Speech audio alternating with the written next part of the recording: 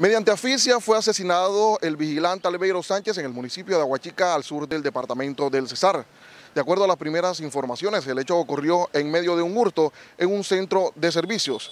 Las autoridades dieron con la captura de las personas implicadas en este caso. Un vigilante fue asesinado mediante asfixia en un hecho registrado en la calle 7, número 40, en el municipio de Aguachica, Cesar. Se trata de Albeiro Sánchez Julio, de 43 años, quien se encontraba en el centro de servicios y lavadero Buturama, cuando fue amordazado y asesinado con una cuerda por parte de los delincuentes que lograron hurtar 5 millones de pesos, un camión y una motocicleta. Se pudo constatar que el pasado vehículo hurtado había sido visto en el municipio de Palaya, barrio Las Flores, lugar en donde los delincuentes descargaron la mercancía que transportaba alrededor de 60 cajas con 6 galones cada uno de herbicida. Unidades de la SIGIN en coordinación con unidades de la estación de policía Huachica se trasladaron al municipio y en diligencia de allanamiento lograron la recuperación de la mercancía y la captura en flagrancia de John Willington Esteban González, Lacides García Arias y Vanessa Carolina Méndez Marín, los cuales fueron puestos a disposición de las autoridades competentes. El cuerpo de Albeiro Sánchez Julio fue conducido a la morgue del Instituto de Ciencias y Forenses de Medicina Legal de Aguachica para la necroche de rigor.